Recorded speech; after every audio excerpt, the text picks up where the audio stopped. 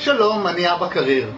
אני מצלם סרטונים קצרים ושם אותם באינטרנט. כן, זה תחביב שלי. תחביב נחמד.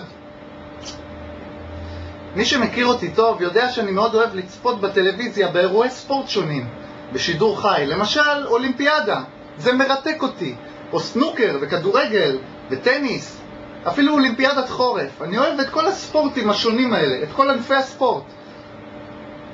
אבל יש, יש ענפי ספורט שעדיין לא המציאו, והם יהיו עוד יותר טובים. יש לי שיפורים לענפי ספורט. נגיד יש, נכון יש אוקי קרח ואוקי שדה, למה לא לעשות מגרש שלם שהוא טרמפולינה, ולשחק על זה אוקי טרמפולינה? זה יהיה משדר ספורט שאני אצפה בו בהנאה.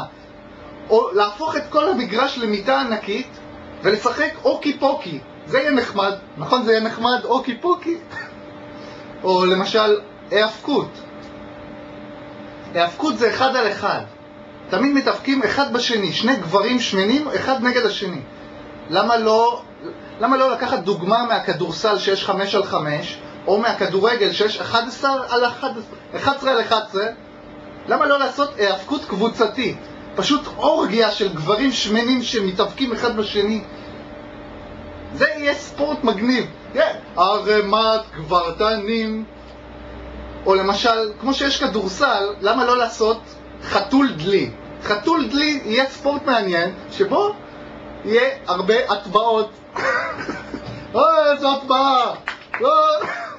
עוד למשל, התעלמות, התעלמות אומנותית. יהיה מתחרה, ואז יבוא אליו בן אדם ויגיד, סליחה, איך מגיעים לרחוב? אז הוא... הוא יתעלם ממנו באלגנטיות. תגיד, אתה יכול לעזור לי?